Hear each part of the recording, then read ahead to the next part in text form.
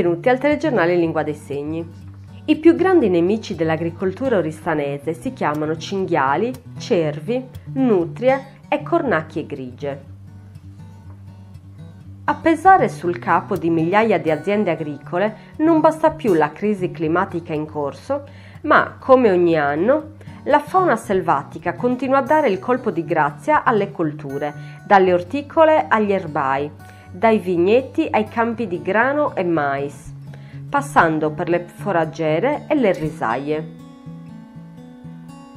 A lanciare nuovamente l'allarme è Confagricoltura Oristano, che lamenta un aumento della selvaggina soprattutto nei territori del Sinis. Spesso, ha ricordato il presidente provinciale Tonino Sanna, molti di questi animali arrivano da siti messi a riserva e a tutela faunistica. Di notte vengono a nutrirsi nei nostri campi e all'alba si rifugiano di nuovo nelle aree protette, dove le compagnie venatorie non possono entrare. Questi luoghi, con il passare degli anni, ospitano popolazioni di fauna selvatica sempre più in crescita e ormai insostenibili. Confagricoltura chiede dunque alla Regione Sardegna di intervenire al fine di riportare i numeri di diverse specie su condizioni accettabili per gli ecosistemi circostanti.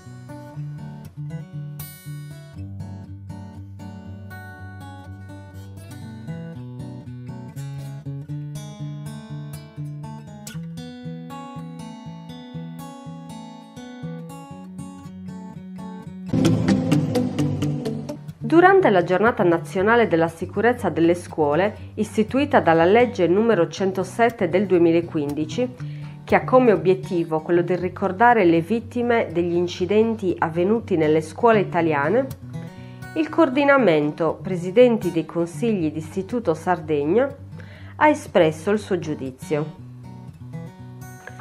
Ancora oggi la sicurezza di alunne e alunni, studentesse e studenti, dirigenti scolastici, docenti e personale ATA è soggetta a volontà divina. Solo dal 14 settembre 2023, data di inizio delle attività scolastiche nella regione Sardegna, abbiamo assistito a numerosi crolli di soffitti, interi piani interdetti per problemi più o meno gravi di stabilità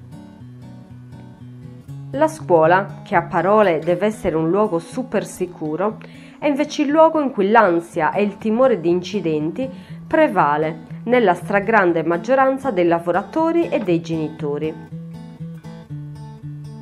Il coordinamento chiede a gran voce un censimento capillare dello stato di sicurezza di tutti i plessi scolastici esistenti nella regione, allo scopo di arginare e prevenire brutti episodi, per salvaguardia e serenità psicofisica delle centinaia di migliaia di persone che quotidianamente si trovano al loro interno.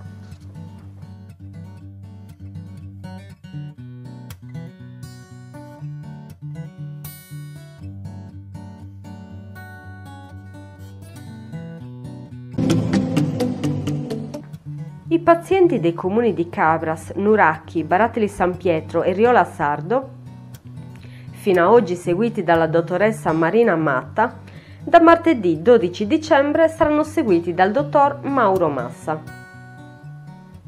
A comunicarlo è l'ASL 5 di Oristano. Verrà così garantita la continuità assistenziale. Non solo, i pazienti in carico alla dottoressa Matta verranno assegnati dai nostri stessi uffici al dottor Massa. Intanto, da Arborea, Marrubio e Terralba, locali comunali per i medici di base. I primi cittadini Manuela Pintus, Luca Corrias e Sandro Pili hanno scritto alla direzione generale dell'ASL 5 di Oristano per mettere a disposizione un locale di proprietà dei rispettivi comuni, al fine di ospitare un medico di medicina generale e un pediatra di libera scelta che intendano rispondere agli avvisi pubblicati da Ares Sardegna relativamente a due incarichi provvisori di assistenza primaria e di pediatra di libera scelta.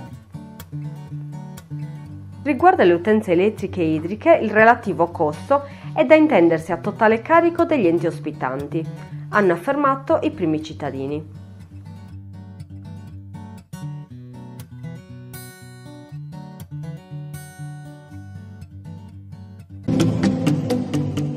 Apprende con soddisfazione che l'assessorato regionale ai beni culturali ha attribuito al comune di Sedilo il ragguardevole contributo di 200.000 euro per la valorizzazione del sito archeologico di Iloi, come ha spiegato il sindaco Salvatore Pes. Conservazione e valorizzazione quindi e poi l'abbandono del giacimento al suo destino, considerando che Sedilo non dispone di organismi specifici adatti alla gestione di questi beni e che i tentativi promossi per la loro costituzione si sono interrotti. In sostanza si trattava di replicare l'esperienza in atto a Macomer, a Basanta, Pauli Latino e Fordongianus, dove cooperative con addetti professionalizzati garantiscono ogni giorno l'apertura dei siti e loro gestione, anche attraverso attività collaterali di ospitalità. A Sedilo, nonostante la presenza di due musei, e di un patrimonio archeologico immenso, l'approccio non si è concretizzato.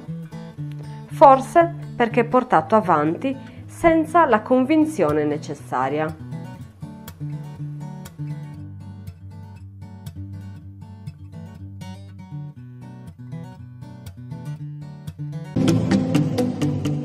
Resteranno invariati i tributi comunali e questo a parità di erogazione dei servizi che non subiranno modifiche. Tari e Immu che restano invariati, agli stessi livelli del 2023. Il sindaco del capoluogo ne ha dato notizia al Consiglio Comunale, riunito nei giorni scorsi, comunicando anche che la Giunta ha disposto il via libera al bilancio di previsione per il prossimo triennio.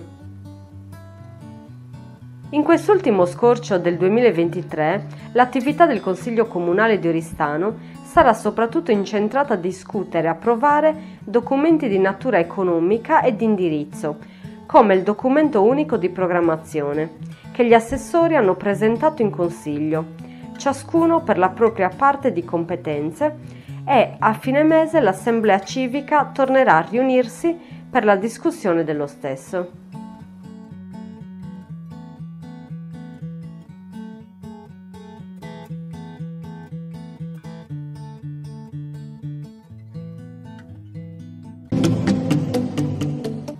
Qual è stata la reazione, posto che questa ci sia stata, ai titoli comparsi due settimane fa nelle pagine della Nuova Sardegna.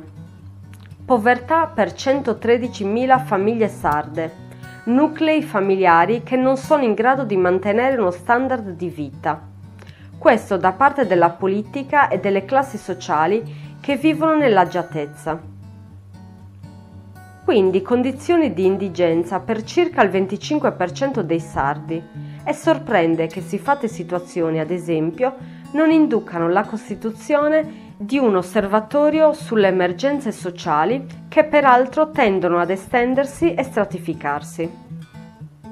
Ci deve invece pensare la Caritas, che da sola ha rilevato quel dato attraverso i suoi 36 centri operanti nell'isola, senza contare quanto l'analisi non denuncia, cioè di quanti si rivolgono ad altri istituti e organismi, un dato che innalza l'assa dei bisogni.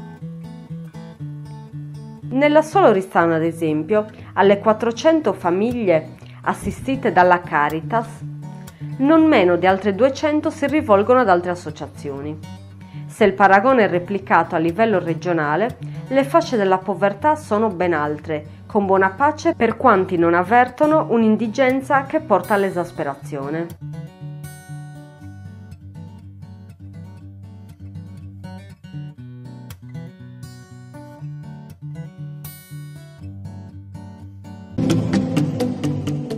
In occasione della festa degli alberi dello scorso 21 novembre, i bambini della scuola primaria di via Amsicora hanno piantato nell'area verde della scuola 149 piante di lentisco, mirto, corbezzolo, alloro e roverella. Interessante iniziativa promossa dall'assessorato all'ambiente e dall'Istituto Comprensivo 3 in collaborazione con Forestas e CEAS Aristanis. Questi alberi saranno testimoni delle avventure, delle sfide e dei successi di ogni bambino nato a Oristano nel 2022. Crescendo insieme a loro e diventando un patrimonio per le generazioni future, ha evidenziato il sindaco Massimiliano Sanna. L'entusiasta partecipazione dei giovani alle iniziative di sensibilizzazione ai temi ambientali e in particolare a questo progetto del Comune per la creazione di un nuovo polmone verde è il risultato più importante di questa giornata. Ha aggiunto l'assessore all'ambiente Maria Bonaria Zedda. È tutto, grazie, arrivederci.